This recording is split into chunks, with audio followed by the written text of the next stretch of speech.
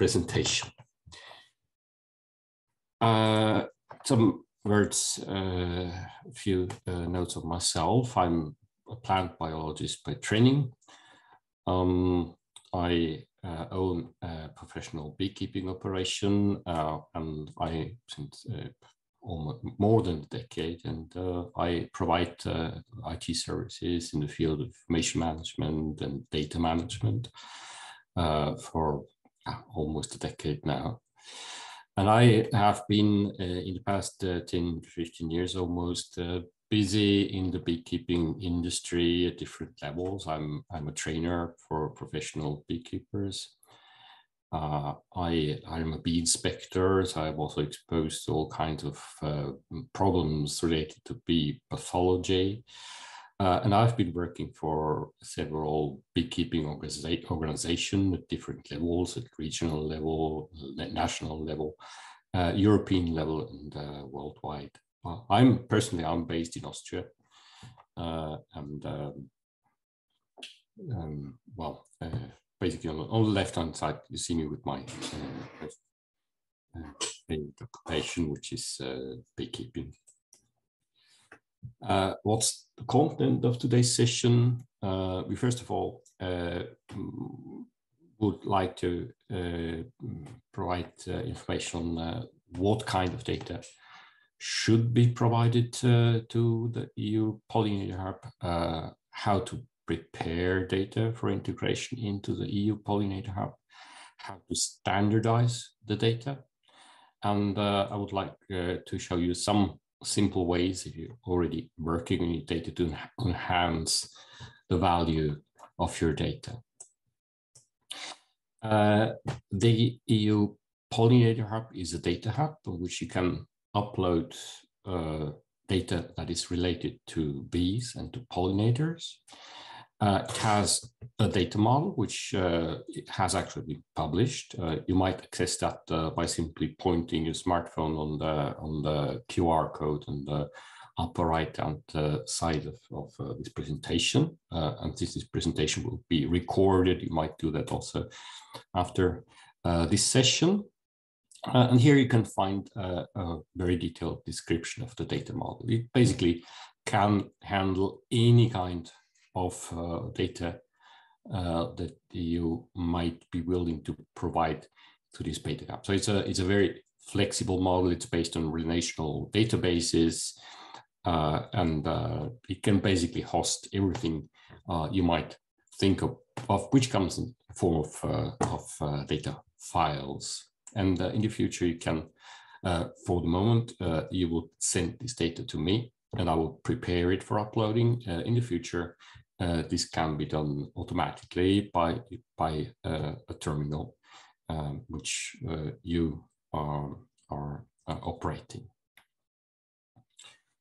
First of all, a short definition of terms that we are going to use during this session. Data, what does data mean? Data, uh, singular is uh, datum, uh, may be defined in different ways depending on who you are, what your basic occupation is. As statistician, for example, like Mr. Zar, uh, would probably say that, uh, or actually wrote it in his book, uh, that uh, data is an observations, are observations consisting of numerical facts. Well, he's a statistician, so he's working with numbers. Um, I would actually prefer the definition issued by OECD. Uh, and they say it's a quantitative or uh, data are quantitative or qualitative facts, figures, and statistics collected for reference or analysis. So it's much more than only numerical facts. Um, data is, for example, uh, uh, you've got this variable here, which would be weight of honey super. So data would be uh, 31.9 kilogram displayed uh, on uh, on uh, the display of the of the hive scale, and kilogram would, depending on the point of view, already be metadata, which is a term that we will also address after a few slides. there are different types of data. Um, and uh, depending on the type of data, you will have to provide different information. Well, there's the usual type of data, which we usually recognize as data. Uh, uh, that's uh, data on a ratio scale that comes with the constant interval size and a true zero point, which is uh, the normal kind of data that we encounter, uh, like uh, the weight of a honey super on a hive scale. Another frequent type of data is data on, on, an interval scale. It comes with a constant interval size, but it has no true zero point. Uh, for example, degree Celsius or degree Fahrenheit. If we measured the temperature in Kelvin, uh, we would have a true zero point, but uh, usually use uh, uh, degree Celsius or degree Fahrenheit in, in practice. Uh, then we've got the data on, on an ordinal scale, which doesn't come with constant interval size, but they are ranked measurements. And if you have ranked measurements, uh, it might already, like uh, this example here, uh, so uh, that's practically me who's uh, doing evaluations uh, in the framework of performance testing of the breeding program. Uh, for for uh, honeybee queen breeding, and uh, we we attribute scores uh, to uh, defensive behavior and to calmness of uh, honeybees on the frame. since this is our ranked measurements, we might want to define what the single ranks actually mean. Uh, and uh, when you add an information or a meaning or a description in a human language, uh, problems, that's where problems start. Because if you use something spoken uh, something that is defined with human language, you have to uh, you, you may have different languages, so you, you have to define properly the term, and you will have to translate that into different languages because this is, for example, one of the objectives of uh, the European Pollinator Hub, that it's accessible to everyone, especially beekeepers. Beekeepers often do not speak uh, a common language like, for example, English. So uh, to make uh, information accessible to everyone, you have to translate it.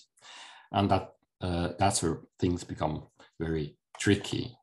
So that sometimes may happen with uh, data on an ordinal scale. It certainly will happen with data on a nominal scale.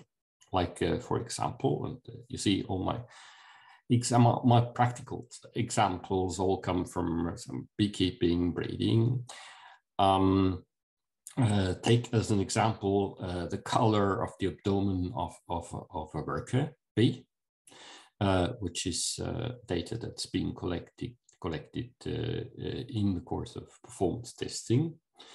there you do not have values anymore, but you have attributes, and these attributes require description, and that's where it becomes really tricky, as I will point out later, and that's actually uh, require a collaborative approach uh, to solve this issue.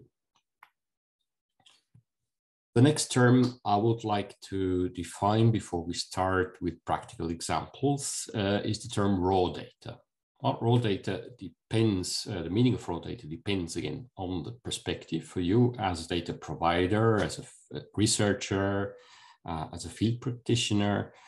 Uh, uh, raw data is, uh, and I again use the definition provided by OECD, uh, all original records and documentation or verified copies thereof, which are the result uh, of the original observation and activities in a study and allow a complete reconstruction and evaluation of the activity. So uh, it, it, basically means that everything which these gentlemen on the right-hand side on this image are doing, because they are actually doing a colony evaluation, has to be um, somehow uh, uh, permanently recorded uh, somewhere, doesn't matter where.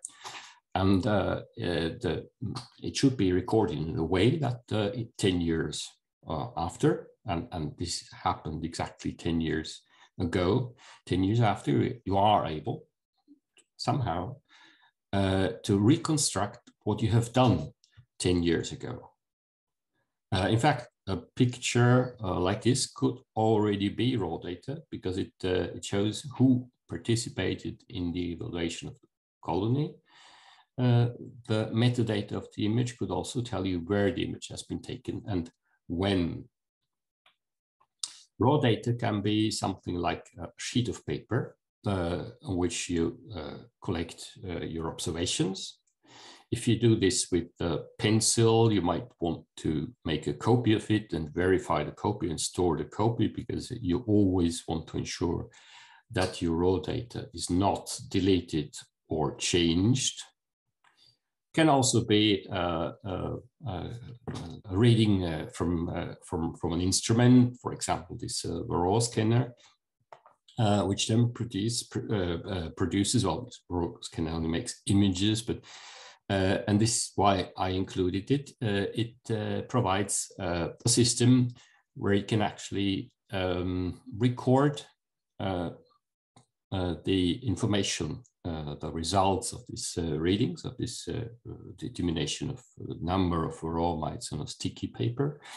So it provides you the number um, of the Varroa mites, but it also stores an image. So you can uh, it makes the whole thing traceable. So you can trace back, and after 10 years, you can, uh, first of all, you can, uh, the, information is stored, you cannot delete it. And uh, if someone else has, uh, has taken uh, these measurements, you can actually see, do quality control this data and see if the transmission of this data was correct. and this is a very important part uh, of maintenance of raw data. Raw data could also be uh, an image like this one would be on a, on a honeybee and chestnut. Uh, here, uh, it's not the image that has the actual value, but it's it's uh, the metadata of this image. It's the location and the time at which uh, this picture has been taken.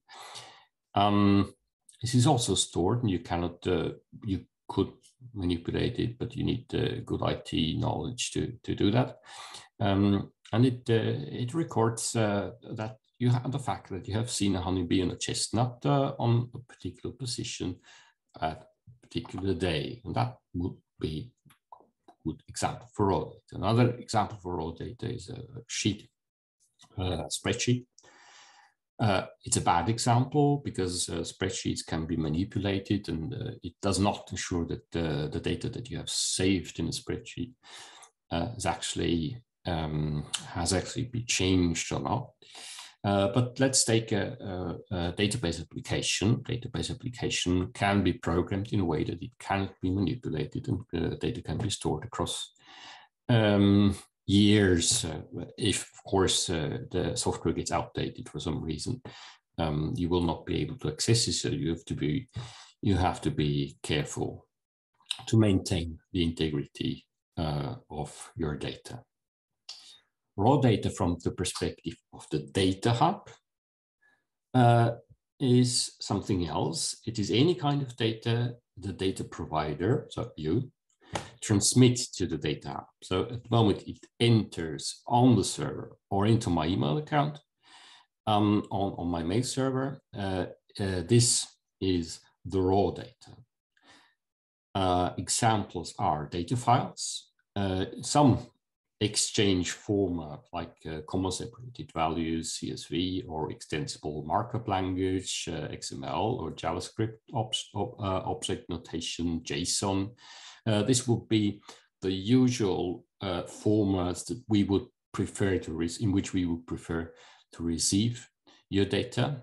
Uh, it might also be other sources like images, videos, voice recordings, but uh, would discourage you from sending us uh, uh, data in these formats because our storage capacity is limited. And if you start to store a few images, you quickly run out of space. So usually it will be some kind of uh, file in, in one of these uh, three formats. Metadata, again, definition for that. Metadata is data providing information used for uh, the identification, description, and uh, relationships of data. So uh, metadata gives basically gives data a meaning. It provides the context in which data has been assessed uh, and in which uh, data is expressed. Uh, it defines a structure of the data of the data. So it might be uh, like information database structure, for example, or on, on, uh, on the name of the columns, content of the columns, uh, uh, or uh, relationships between different data, different entities different objects, and it enables uh, uh, retrievability across systems, usability, authenticity, and auditability across time. So it tells me uh, when data has been collected, with which method, it allows me to trace uh, back uh, how the, the, data has been assessed, uh, when, by whom. Um, it, it's basically information on the data that allows me to understand the data. One practical example for metadata is this receipt that I received uh, on, on, Tuesday when I went uh, to the restaurant with a friend of mine. Uh, the data itself are single voices like this uh, glass of beer and, and uh, some, uh, some the other things that we consume for lunch. And the metadata is everything labeled with red. For example, the name of the restaurant uh, and the address of the restaurant. It is this QR code that, uh, for example, tells the tax office, uh, gives, uh, contains information which is relevant to the tax office. I, I don't know what exactly it contains actually. And uh, uh, information on on the value added tax components in, in in in this invoice. so this is uh, everything labeled with red would, for example, be metadata. Uh, metadata, which kind of metadata uh, do we require for the EU Pollinator Hub? Uh, that would be, for example, it depends a bit on, on the type of scale in which the data has been collected. Uh, it would be, for example, that applies for all uh, types of data be the owner or the owners of the dataset. It will be any information regarding licensing, permissions, copyrights. Uh, uh, it also contains any uh, information on the relationships between the different objects. Uh, and uh, it should also contain, if possible, the method uh, with which the data has been assessed uh, information on materials used, on, on the procedure that was applied to collect the data, if possible. Uh, also, uh, position uh, on, on, which the data has been assessed, uh, date, the time, time uh, which data has been assessed, time which the record has been created, and so on. Um, for uh, uh, data on, on an interval and ratio scale, it would also be a good idea to maybe include, if available, a validation report, because that's also very, maybe very important uh, information on your data. Uh, you might also include the unit. There's a lot of data coming in that does not contain a unit. Well, sometimes it's obvious. For example, hive scale data will most likely be measured in kilogram. Um, but uh, uh, it might also come from another like United States and you would use a different, might use a different unit to measure uh, the weight. So you would also provide, in that such cases, you would also provide the unit in which the data has been measured. Uh, another uh, good uh, information would be the expected range in which you data uh, should uh, come uh, because that can facilitate the quality control.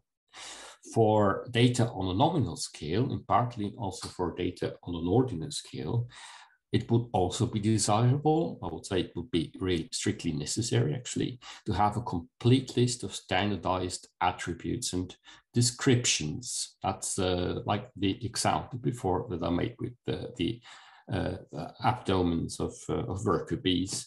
Uh, and there you would provide all attributes and the description to these attributes. So you see, it depends a bit on the scale in which the data comes, which uh, information, which metadata you have to provide. And this is basically uh, uh, the first part of my presentation, which uh, I'll try to uh, define uh, the terms that I will be use uh, will use uh, in the rest of the publication, in rest of the of of, the, of this presentation. Um, data quality, or the quality of the data that enters into my mail uh, mm, into my mail uh, box or onto the server uh, at the end depends on the on, on the quality with which data has been collected.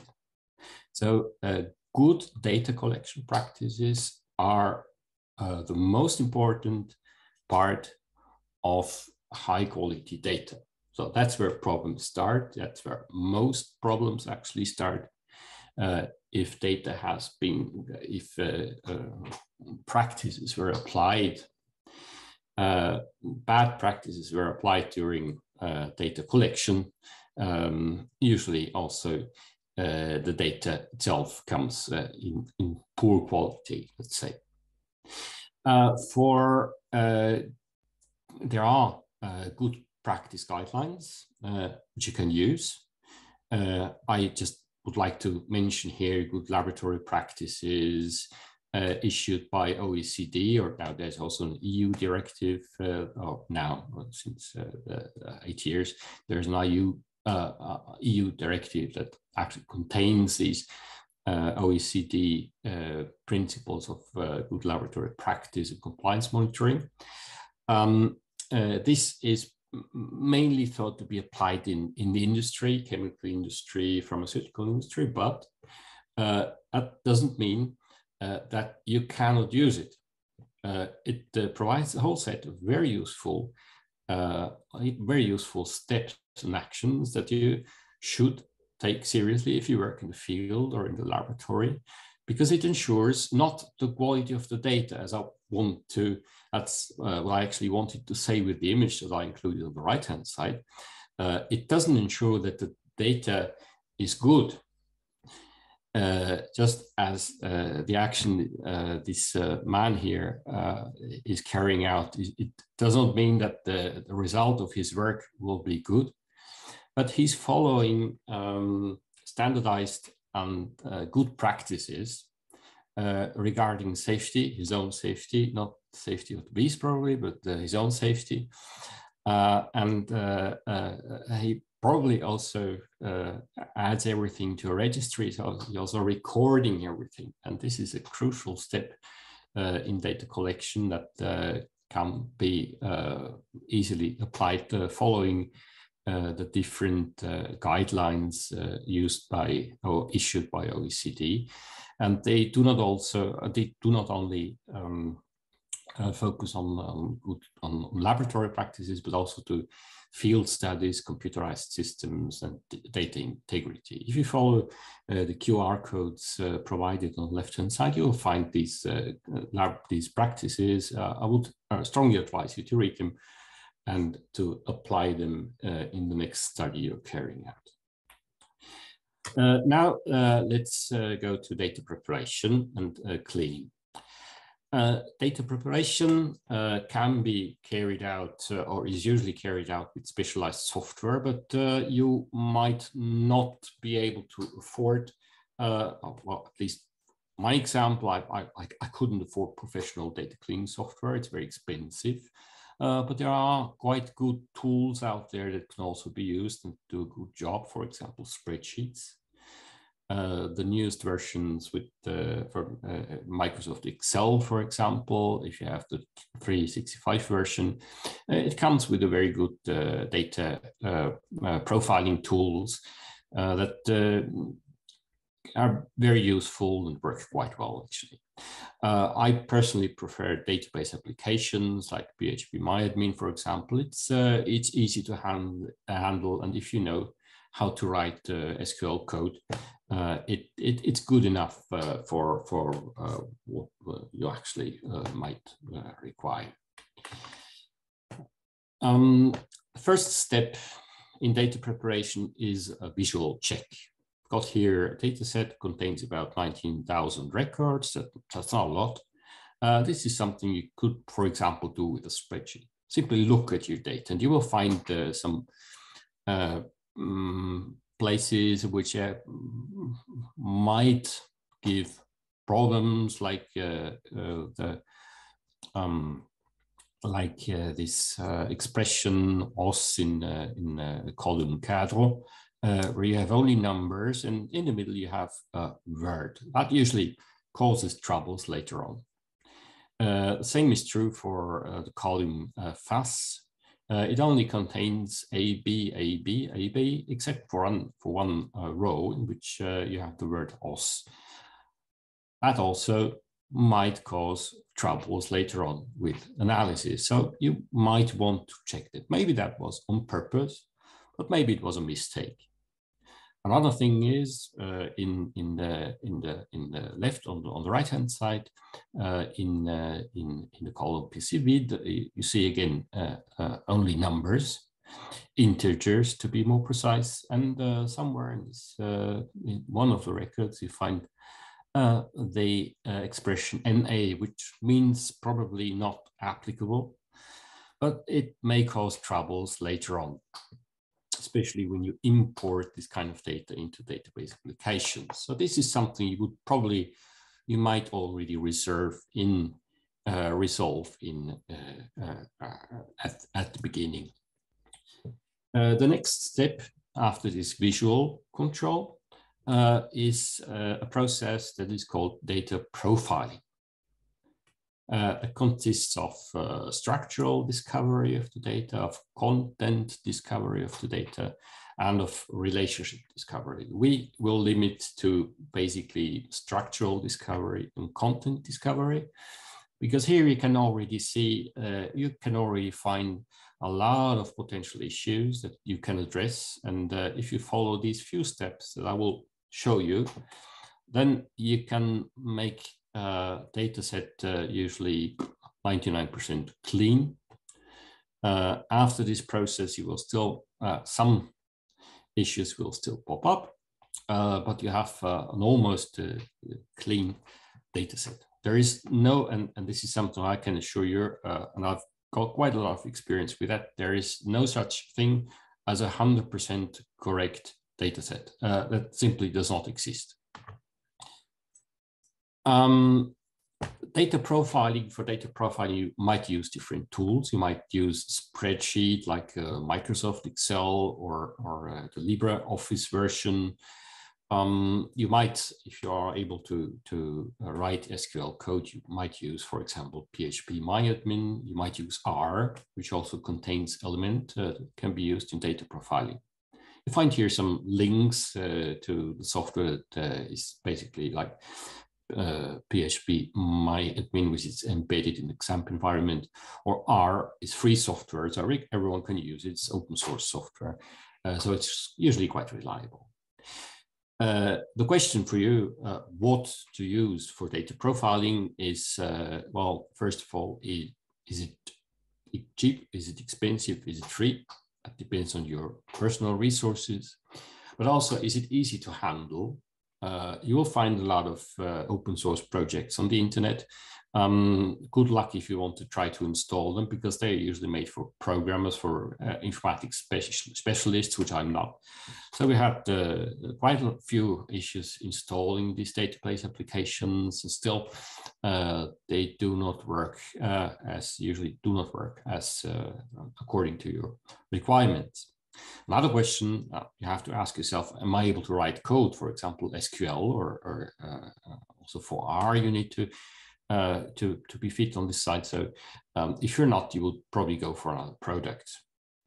Um, another question depends a bit on your requirements. Uh, is, is is the software validated? So uh, validated is it, it means that is it actually doing what I assume it is doing? What what for for a software is not necessarily the case, uh, uh and this is the reason why many data profiling tools, good data profiling tools, certified data provide, pro, pro, profiling tools come at a very high price.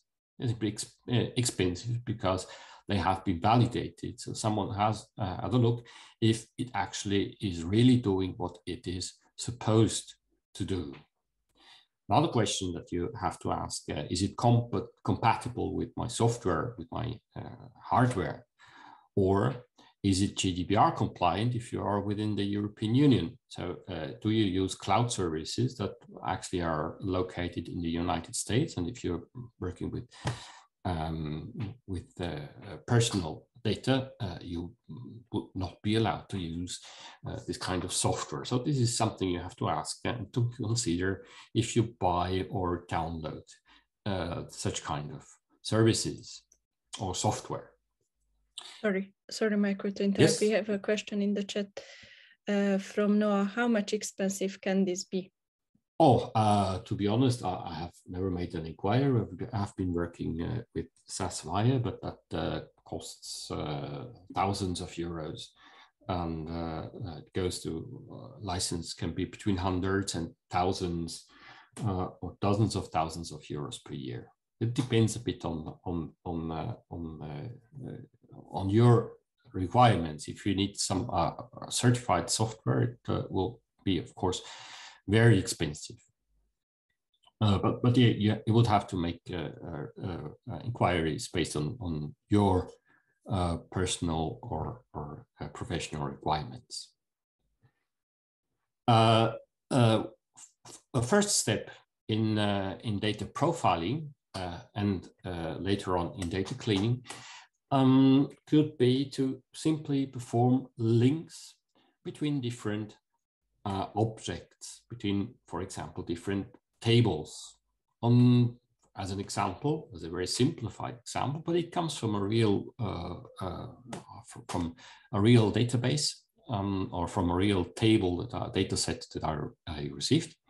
Uh, is a, a, a, set of uh, uh, is a table with a set of of results of of results from colony evaluation um, that you see on the left-hand side.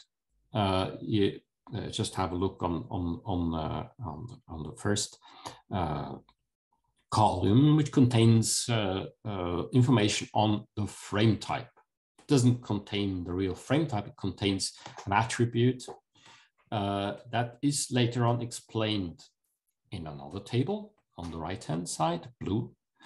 and this table contains all uh, contains the information descriptions for all frame types that are uh, being used uh, in the original data table. Um, if you have a database application, you may join these two columns, uh, column frame type, uh, and perform a special type of join, uh, perform a left join, uh, which means that uh, the integrity of the table on the left is maintained and uh, the system simply uh, adds all corresponding um, all corresponding rows uh, from the table on the right hand side. That's why it's called the left join actually.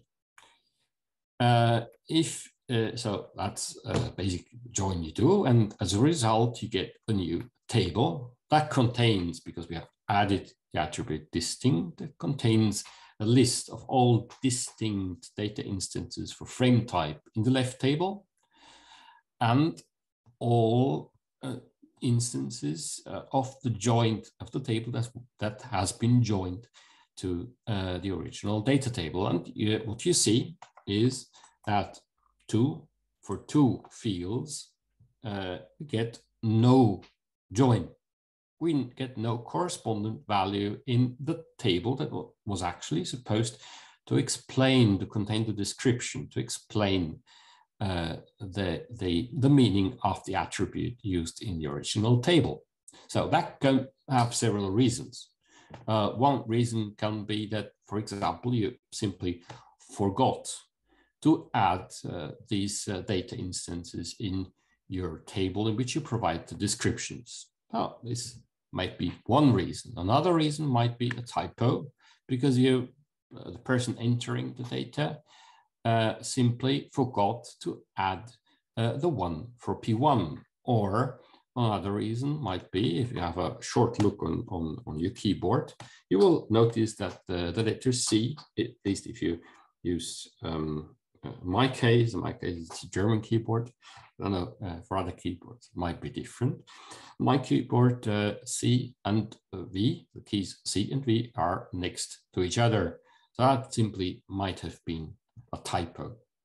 So by, by doing this linkage, you already find actually quite a lot of potential issues, 210 potential issues as a whole.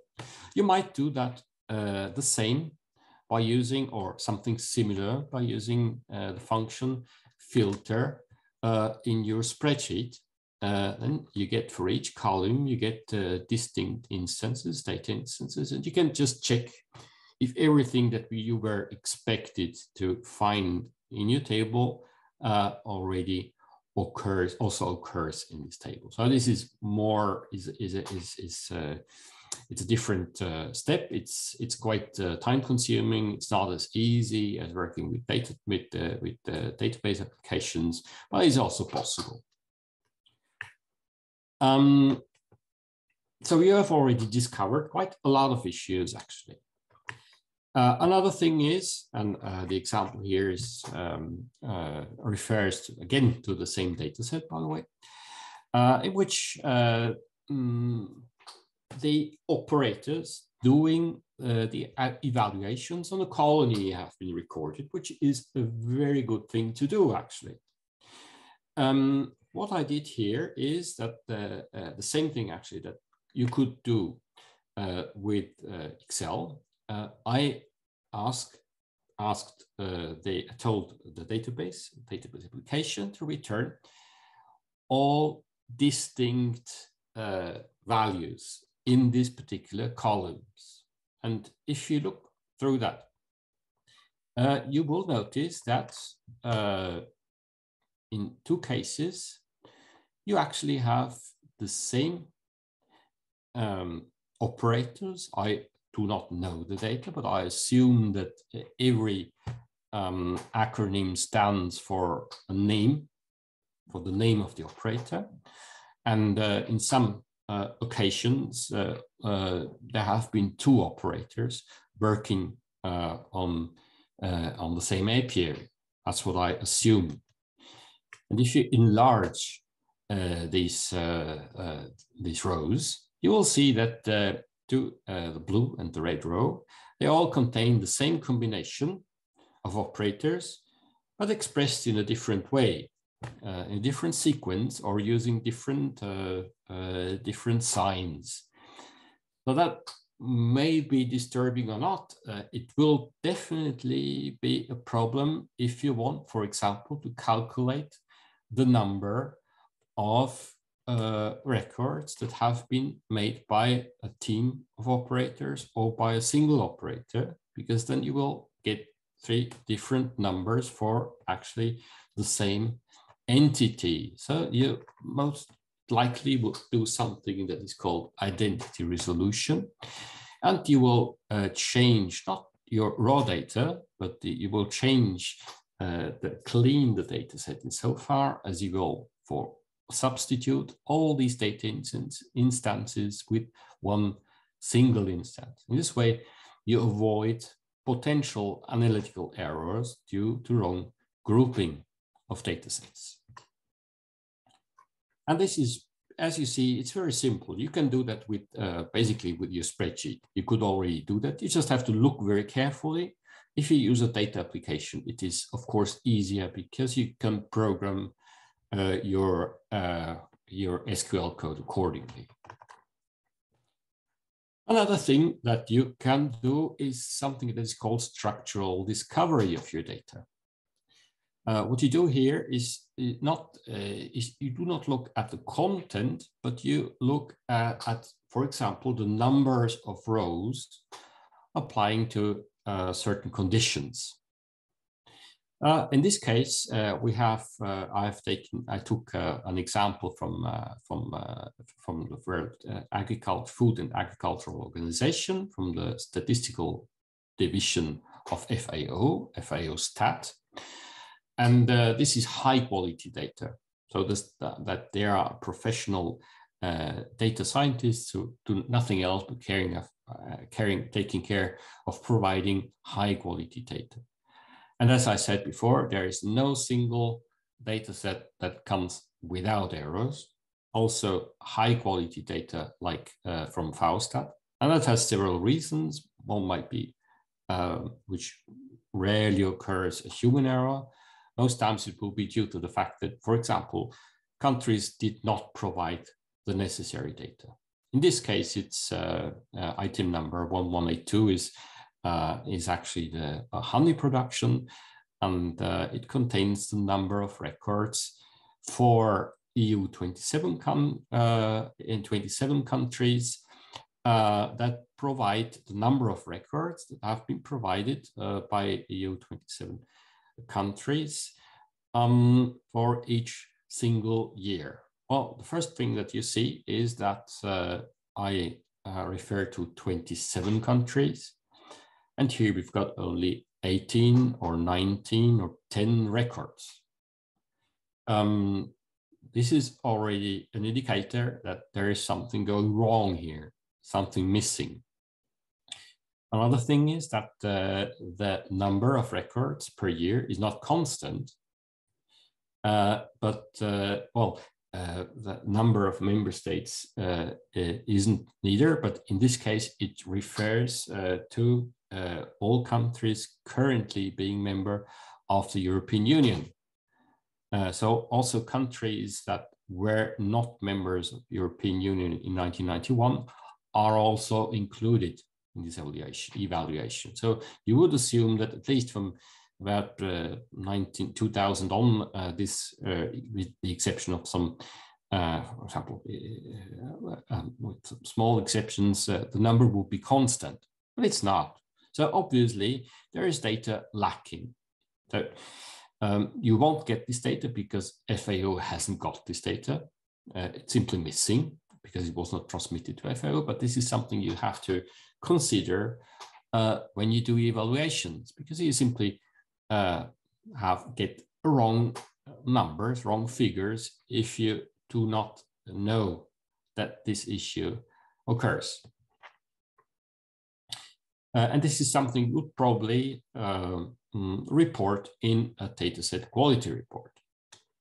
Another thing you can do, and this is again a practical example, uh, again refers to the colony inspections that we've got. Uh, we had about 19, which uh, consisted of about 19,000 records. 19,000 records is for someone who has uh, uh, uh, doesn't have a lot of experience and in, in maybe in, in data science um, uh, and uh, doesn't use appropriate software is is actually quite a lot. If you work with spreadsheets, this is um, it's easy to to to get these kind of errors. So it's it's not a matter of bad practice, but it's simply a, a completely normal uh, human error.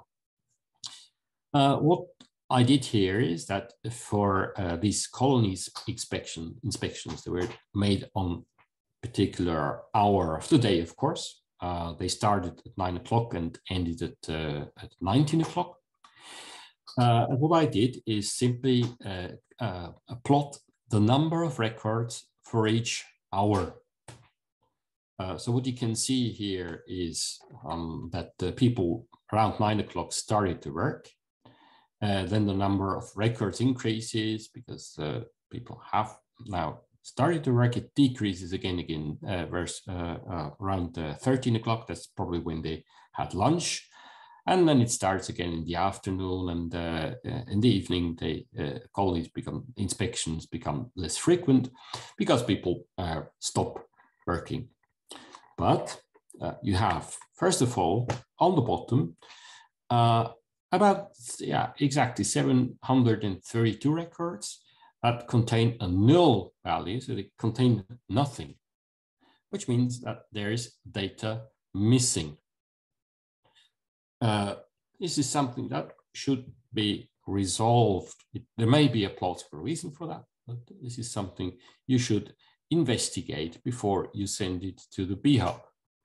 or I have to investigate it uh, if I'm the one who has to take care of the data set. And then you find uh, a lot of data, a lot of instances in which you actually have one record for each hour of the day, uh, starting uh, with 20 o'clock uh, and ending at 8 o'clock in the morning. So this is something that's suspicious. Well, there can be a plausible reason for that, but you have to investigate. In fact, it was uh, an error uh, in, uh, uh, in, in during data entry, and this simple evaluation helped us to find, to spot this error and to correct it. And this is a very simple operation which can be done with a database application, which could also be done with Excel. Uh, in, in, fact, uh, this uh, uh, plot here is an Excel graph. A graphical uh, uh, representation of the structure of your data is always a good thing to do because it, it immediately shows the problem visually. That's why we include visualization of the structure and the content of the data in our dataset reports. The problem starts when you have very large data sets. This is a, an example from FAO uh, that contains uh, more than 41 million records. So 41 million records doesn't even fit into an Excel file. So you couldn't even import it or you couldn't go through it visually um, I wouldn't do that anyway because it, uh, uh it, it's simply impossible.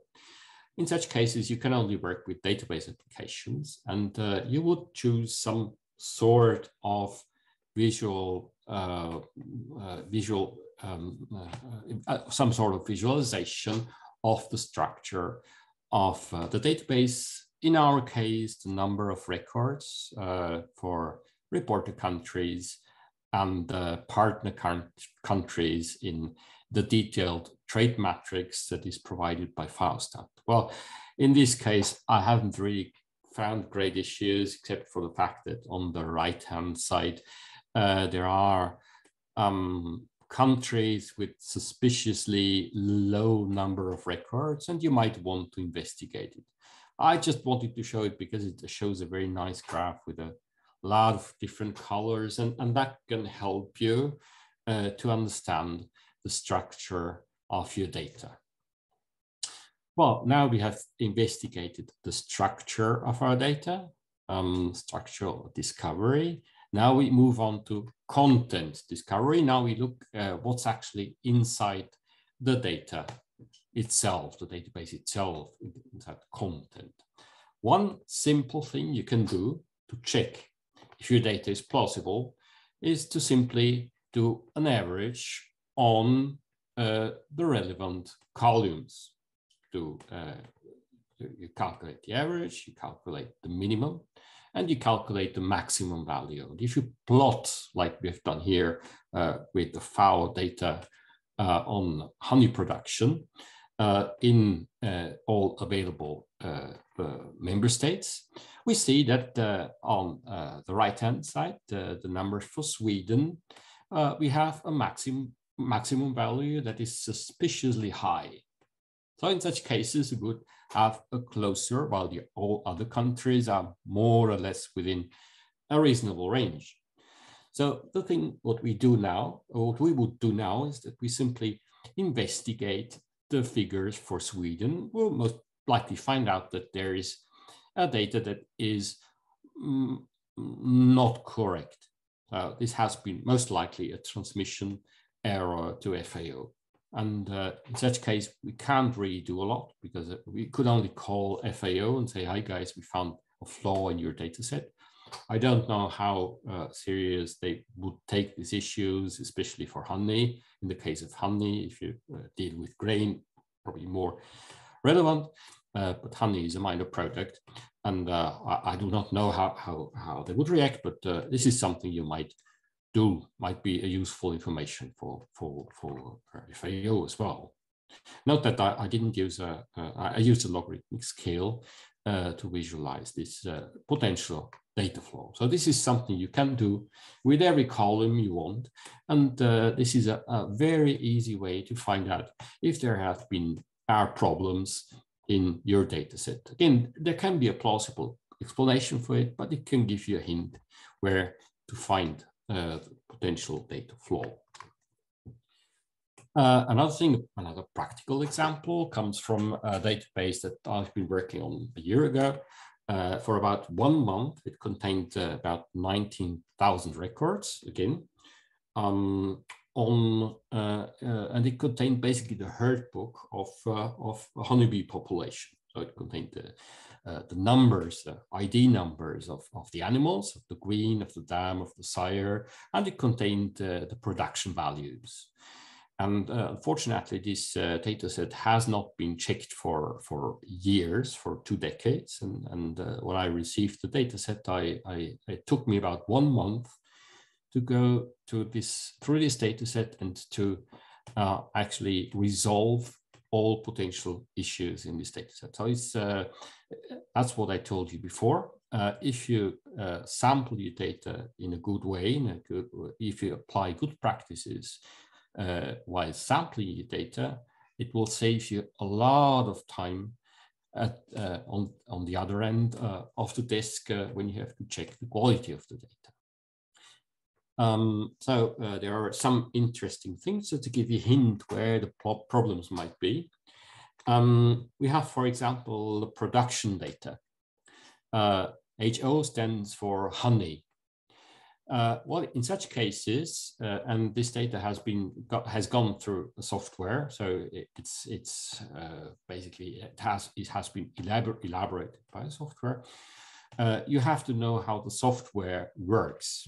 Well, we know that the software never issues zero. Uh, whatever it does, it always issues at least uh, the number, the lowest possible number is one because if someone enters nothing in the production for honey, then the software replaces that with one. If you know that, you will be alerted when you find something like null or zero in your database. Well, this is what actually happened, and we corrected it. What, uh, there was something else we found because we found suspiciously a suspiciously high number of records with zero uh, in, in higher numbers.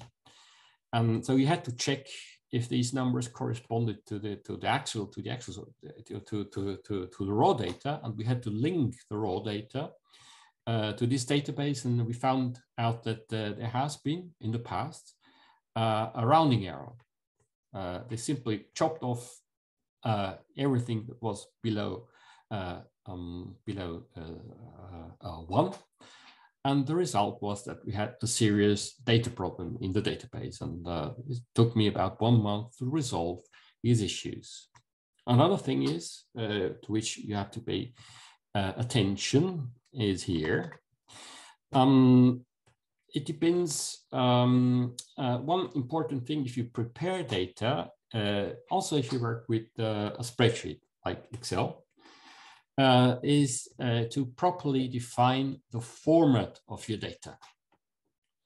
If your data, for example, is an integer, or it is um, uh, a character, because once you import this data and you assume it is an integer, and uh, at the beginning it was um, actually a character, uh, you will uh, produce a problem, uh, which is the case for this number for a queen ID with a leading zero.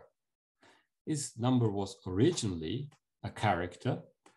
It received a leading zero, which is, is already very dangerous from, uh, from uh, uh, from, from a, data point of view.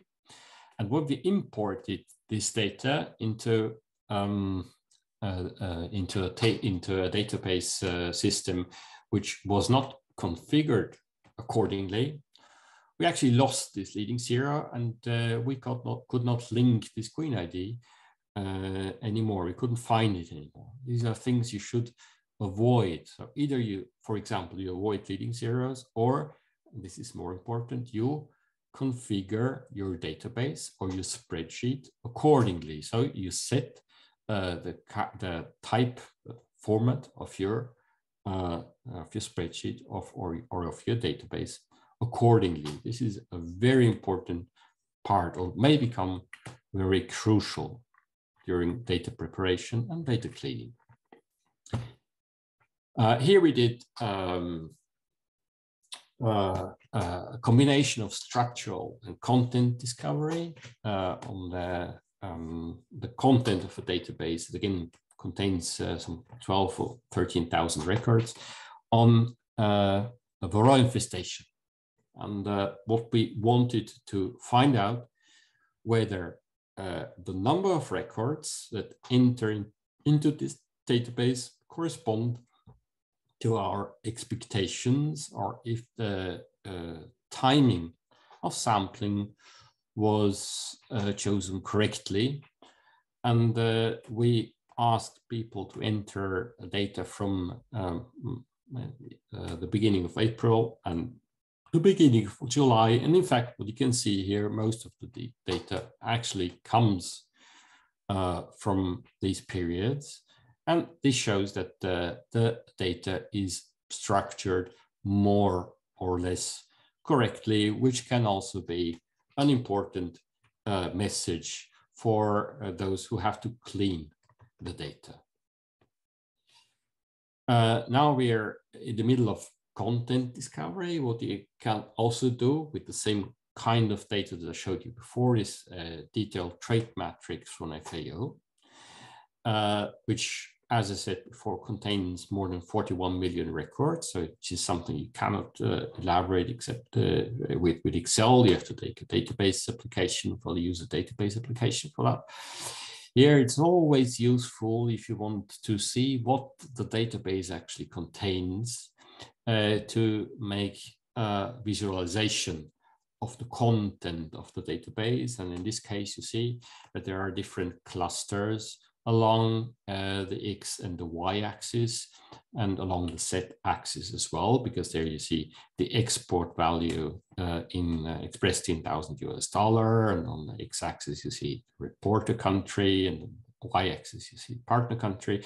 So you can see where uh, and uh, to which uh, which um, um, kind of data you actually find in your in your database, and that can be an important information later on uh, when you uh, elaborate your data. This is nothing, has got uh, nothing to do with, our, uh, with cleaning your data, but it only shows you uh, a method to express or a way to express the content, to show, to visualize the content uh, of your database in cases in which the data set is really large. Um, the next chapter I would like to address is the is a tricky chapter. It's the chapter that uh, deals with standardization and definition of terms, and that relates to the thing that I uh, to the to the issue that I I, I mentioned uh, mentioned earlier at the beginning of this presentation uh, regarding uh, data on a nominal scale. Um, there's one exercise you could do when you exit from from these presentations in the afternoon. You go uh, to the next to to to to a genet geneticist and and ask him to define the term gene, or ask a taxonomist to define the term species, or ask a, a beekeeper to define the word the term brood chamber. I wish you good luck you most likely will end up like these uh, two gentlemen uh, on the right hand side uh, in the laboratory uh, because it, it's simply uh, very difficult uh, to define these terms and we've got the same problem in beekeeping. Take this an, as an example. Um, this is Bulgarian. I personally, I do not know, I do not speak Bulgarian and I, I, I cannot read uh, Cyrillic uh, letters. So for me, this is data that I cannot understand. Um, nonetheless, we get such kind of data.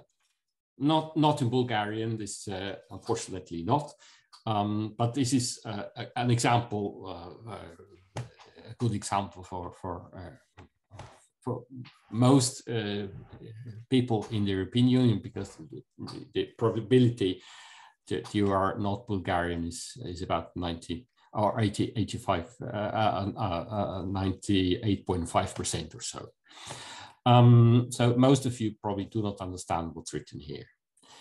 Uh, if you provide data on a nominal scale, please clean it up before. Please use a common language, which is English.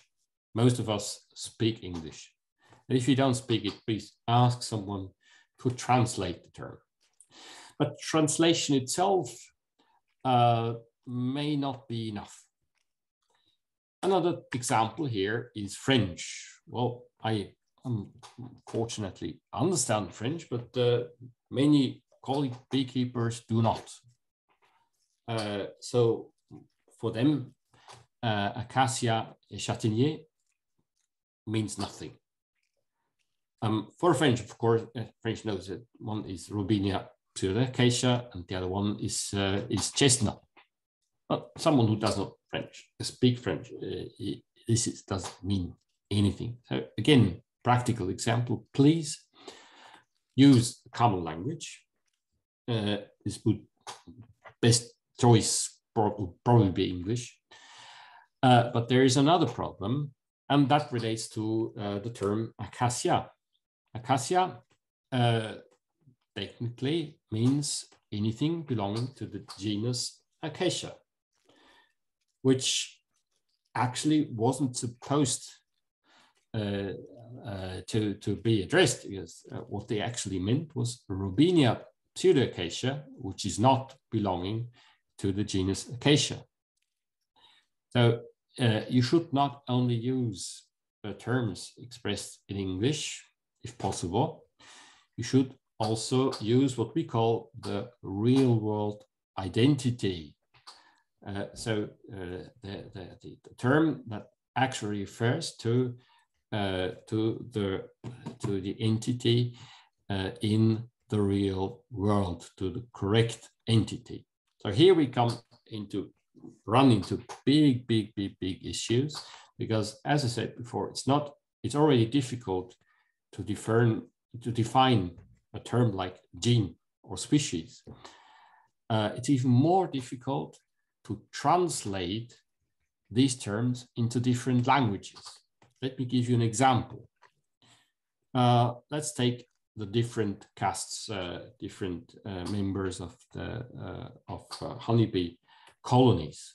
You got the honeybee queen, the honeybee worker, and the honeybee drone. Each of these individuals is something that we call a real world entity. So this is something that exists, or a table. If you if you uh, if you think that table does not exist, just bump your head in it and you will realize that it exists. So uh, this is something, uh, an object or a process or whatever that exists. And for each of these terms, we have in a given language, call it, it's called language A, a term. So that's an easy situation. Everything is clear, no problem. Well, uh, let's see what French people do they have two different terms for drones. They might use one term or they might use the other term. And they're yeah, the first potential issue.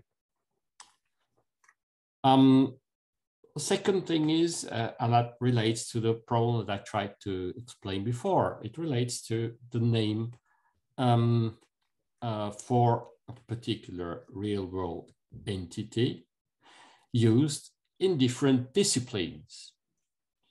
Uh, in our case, um, a botanist uh, would call the, uh, the uh, tree uh, in, uh, um, in, in, image one a black locust, Robinia pseudoacacia, and the thing on the left-hand side, number two, would call that acacia.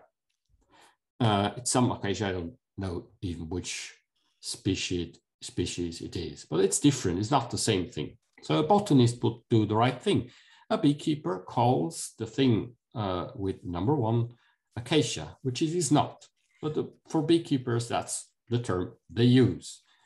Again, this is something you have to standardize and you have to resolve on the database level because you are going to share this data with people from different backgrounds and with people from, uh, speaking different languages. Uh, and this is a very difficult process. Or take another example. Uh, in German, uh, Prunus armeniaca, uh, in, in German, it will be called Aprikose. In Austria, it will be called marille. Uh, the Austrian would understand the German term, but Germans would not necessarily understand uh, the Austrian term. It's the same language, but it's a different dialect. And, uh, and you have for the same languages, you have different terms in different regions.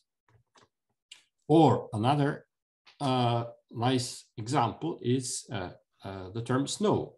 You see my beehives in wind, during winter, it's snowing. Well, someone coming from the Fiji Islands uh, has exactly one uh, term in his language for uh, the real world entity snow, which is, I don't know, I hope there are no people from Fiji present, uh, but it's like Uka Chivata. In Fiji, it never snows, so they have a term for it, but it's only one term. In Norway, you have, I don't know how many different terms for snow, because in fact, there are different versions of snow. Uh, so again, that's something that might, might cause troubles when you have data on a nominal scale. Um, or let's take this example uh, uh, from, from a database. Uh, here we have uh, data that relates to hive body in French corps and honey supers in French hausse. Why you would say, Bob, that's very clear. Not really, because that depends very much on the country where you reside, because um, for an Austria, Austrian, uh, the term hive body might mean different things. To be honest, we do not even have a proper term for it because we have a different hive type. Uh, if you work with a dadant uh, or dadon hive type, the term brood chamber and honey super is very clear. That's logic. But if you work with the Langstroth type of hive, it's much, much less clear, especially if you work with two boxes in your brood box. So this is something uh, that you actually have to properly define. And this is not something a person can do on its own, but you need uh, a way, a procedure uh, to solve these issues uh, if you do something like the European Pollinator Hub, which is supposed to standardize terms and to do that across languages. So we have to define real world entities, which we are currently doing uh, in the framework of the Apimondia Working Group standardization of data on bees and beekeeping, which by the way, this evening at, I think at 18 o'clock or 19 o'clock is going to hold a session or which is done in international organizations like ISO or FAO. Uh, second step in this process is translation. You can use uh, dictionaries, you can use textbooks, you can websites to translate these real world entities into different languages. And then you have to validate these translations by experts. You have to uh, use a collaborative approach to actually do this because it takes a lot of time took me, for example, a half day to properly translate the, uh, as I mentioned before, uh, the, uh, the term, um, uh, as I mentioned before, the term hive body or uh, uh, honey super into five different languages. Um, another thing that you have to resolve and to clean when you want to provide data to the pollinator hub or to any collaborative data hub uh, in this world is the problem with null, zero, and blank. Uh, the problem comes, uh, problem, uh, uh it's a problem because different types of, uh, of data storage system, let's take a spreadsheet like Excel, and database applications like those using sequence query language as a basis, is that for them, nothing doesn't always mean the same thing in a spreadsheet like Excel, for example, no entry means nothing. Uh, for a database application, um, there are two different instances of nothing. There's really nothing, which is nil, and there is blank, which is there is something, but it contains a blank character. There is a big difference. Uh, another difference is between zero and nil. So zero means the value zero, while nil means really nothing. Um, it doesn't make, uh, uh, maybe you do not really um, recognize the difference immediately, but uh, try to make an average on, on a column containing null and zero values, you will notice the difference because if you include zero into the calculation of your average, it will give you completely different results. And if you do not include zero values in the calculation of your uh, average. And this has to be resolved uh, depending on the type uh, of uh, data you actually provide. So sometimes it would be desirable, for example, if you work with numbers uh, and there is really nothing inside to include the term null instead of, for example, taking NA for using NA for not applicable because null in the database means something. Um, generally use null, the null value to indicate that a value is missing, is unknown, or is not applicable.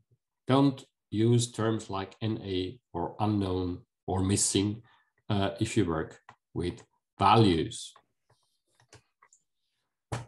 Um, standardization becomes uh, is difficult if you have data on a nominal scales. It becomes a nightmare if uh, it comes to if uh, in case of annotations to records it's perfectly it's perfectly uh, uh, it's perfect to add annotations to records and it can be very useful and i often do that you should actually always do that because you might always have the necessity to add annotations to record but you should do that in a standardized way um, take uh, the example on the right-hand side. Uh, uh, that's a practical example. It wasn't written in Italian, it was written in another language. That doesn't really matter now. But for example, Nicola introdurrà una regina. That was an annotation. First of all, it might be become difficult to translate that. It's not really uh, a useful information for everyone because if you provide data to a data hub, this data will be used by everyone. I personally do not know Nicola.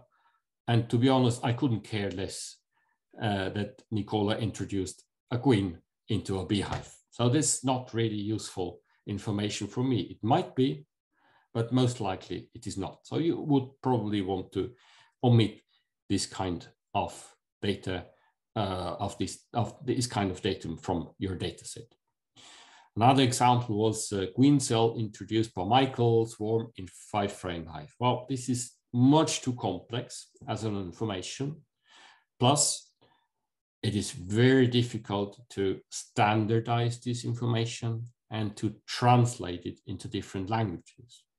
Another example is a practical example, aggressiveness, uh, bracket five uh, um, uh, called um, uh, colon 25 bracket. Uh, I, I understand aggressiveness. but I do not completely understand what uh, these symbols and numbers after aggressiveness mean. So either you describe this in your metadata, which in this case wasn't the case, or you, and in such cases, you need to properly describe what you mean by 5 and 25, uh, or you omit it, or you uh, try to uh, include different information. Another practical example was uh, uh, what I found was like brutes snotty, chewed down, twisted in stomach ache position. So that's uh, why I, I added this image because it uh, well I had to laugh a bit because naughty brood is uh, well it's a funny expression, but um, it's it's very difficult to standardize.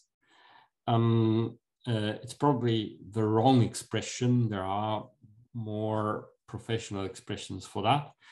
Uh, and uh, mm, it, it's very difficult to translate across languages. So if you have annotations, uh, keep only those annotations with, that, with, with a meaning for potential users and standardize these annotations. Avoid local slang.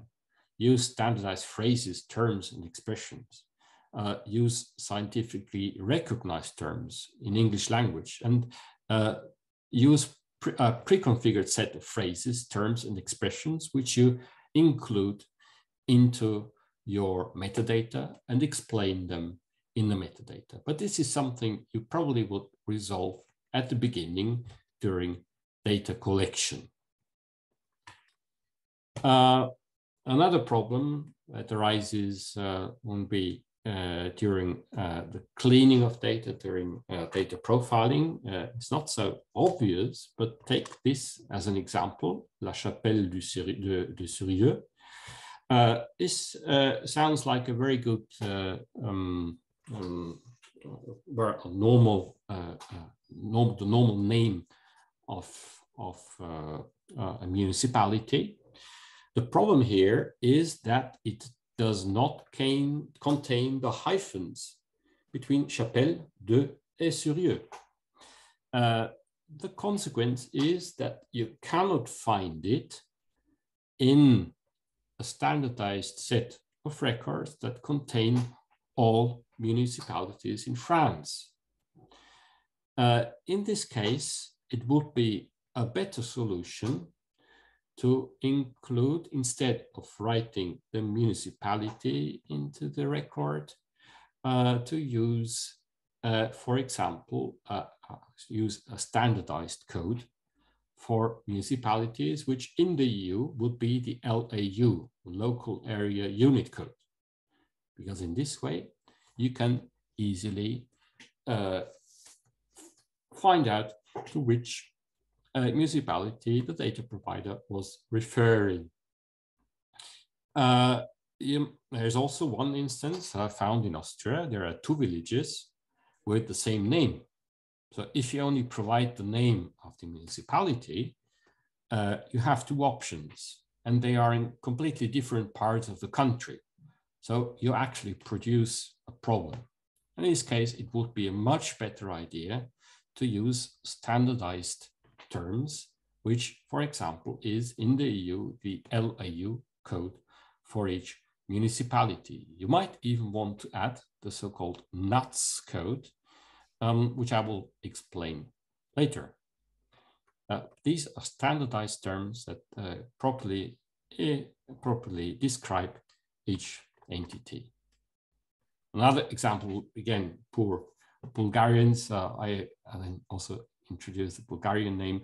That case, it would be for me, for a user who does not speak Bulgarian, who cannot read Cyrillic uh, letters, would have some difficulties to find out what we're actually talking about. So in that case, in all cases, in all these cases, it would be better to use standardized codes. Um, the next thing is, and the last thing is I would mention is data enhancement. As you're already working on your um, on your data, uh, you might add additional information that might be useful for, for other users. Let's take an example here, the NUTS code, which wasn't present in the, in the original data set, which we have added. You might also add like in this case, uh, weather stations, from which you might retrieve um, uh, data that might be useful to interpret your raw data. Or another example, you have uh, a list table containing species. You might enter, you might add an additional code uh, from a database that contains a publicly accessible database that contains uh, the ID number, the identifier of a species, like, for example, the GBIF database. With this, you get, uh, you first of all, you properly define your species. You probably accessed this database anyway because you were just uh, checking if the, the, the, the name of the species is the currently accepted species. So why not using the identifier that is already shown in on the website and in, in, insert it into your database, into your table. With this, you can access the page, corresponding page uh, at GBIF, and you can get additional information for the user. Uh, in any case, uh, whatever you do, and that's what I mentioned before, uh, if you clean your data and if you enhance the value of your data, or if you standardize your data during cleaning, please always refer to international standards and databases. And in the future, use the references that are provided by the EU Pollinator Hub, um, because we will uh, uh, provide a set of references uh, so to make it in order of existing re references in order to make them more um, uh, easier accessible for you. Use, for example, uh, um, standards issued by FAO, the Food and Agriculture Organization of the United Nations. Use, for example, um, standards that are issued by United Nations Department of Economic, Economics and Social Affairs, uh, the uh, statistical department of, of the United Nations. Uh, for example, uh, regarding countries or areas, geographic regions, because then you have a pretty standardized um, data set. If you are in the EU, use data sets or uh, standards issued by Eurostat. You can find it on the website of Eurostat, and you will also be able to find that on later on on the website of uh, the EU Pollinator Hub. They provide a lot of different standards, for example, for local uh, administrative units, for nuts regions, uh, postcodes, uh, and uh, for uh, different codes for for land cover, for example, Lucas and CORINE. you might also use for uh, Uh, other uh, uh, applications like in other instances in which you refer to uh, species, biological units, you might uh, use, for example, GBIF or ITIS. GBIF is the European version of, of, of ITIS, which contain information on, on taxonomy or uh, refer to standards issued by uh, ISO. The problem with ISO is that in contrast to all other examples that are provided so far, is not for free. So you have to pay for it. It's pretty expensive actually to, to get it. Um, for terminology, you might refer to uh, IATE, uh, European Union Terminology Database, uh, which is for free and which is very good. Uh, but you might also refer for translation to standardized tools like um, um, automated translation tools uh, that work with artificial intelligence like uh, DeepL or Google Translate. DeepL, in contrast to Google Translate, is, uh, is free for uh, common use, but there is also so there are also subscription programs uh, to which you might uh, enroll. Uh, Google Translate is for free, but of course Google Translate uh, uh, is for free because it it it comes with the the use of your data. And the last thing that I would like to mention is uh, traceability. It is very important whatever you do during cleaning, that you always ensure that everything you did is traceable. Uh, the first rule, and, and this is um, uh, first rule, uh, is never ever change raw data. Raw data is raw data, and it has to remain such. Never touch it. If you change raw data, make a copy of it and apply the change to the copy. If you do that, document everything you do. Uh, like the guy on the right hand side, Hensel, uh, who is going to the to uh, who used stones to find back home. So whatever you do, document it. Every step you did, document it. Use standardized procedures. Write reports on the changes you made and introduce flags or annotations to records if you apply the change. Because you might remember that for one day, you might remember it for a week, but you will forget it after a year. And then uh, it will be impossible to restore the original data or understand why you applied a change. Practical example is here. Um, whenever I change something, I record everything in a data report, in a data set report, or in a data quality report, in which I record who did the change, when the change was applied, might be the date, it might also be necessary to record the time of change. I record what I changed and I give a plausible reason why I applied the change. And this is the only way to understand after a certain period of time why you did it and what you did, for which reason and where. In a spreadsheet, this is a dataset report. This is going to, is produced is, is a Word document uh, in which I record everything. You might also do that uh, in your spreadsheet, as I did, for example, for for uh, uh for the data on on on, on in, in the herd book. I added uh, corrections in the copy, not in the raw data, but in the copy, and I gave a reason uh, why I corrected it. I, I also record what I corrected. I record the initial value and I record the value uh, that uh, uh with which uh, the original value has been replaced. I declare who did it and when it has been done. And in this way, you can always trace back if you made an error or find out why you applied the change. And this is an example, a practical example, uh, with uh, an X, uh, Excel file in which uh, for every record I added a reason uh, why I applied the change wherever you find uh, this red color.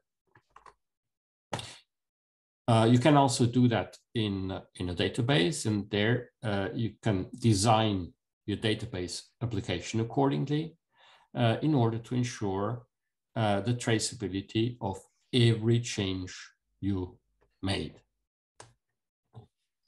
Um, it might also be a good idea, and this is what we do within uh, the EU Pollinator Hub, to actually create standard operating procedures and uh, procedures which tell you what steps you have to take and what measures you have to take uh, to integrate data sets and to correct errors, to uh, to uh, go through the whole data profiling process, what to do if you found an error, so the issue management.